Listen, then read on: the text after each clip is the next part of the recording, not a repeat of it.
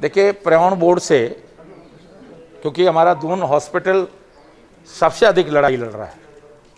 पूरे प्रदेश में सबसे अधिक कोरोना पॉजिटिव मरीज़ अगर एडमिट हुए हैं और ठीक हुए हैं तो दून मेडिकल कॉलेज में हुए हैं।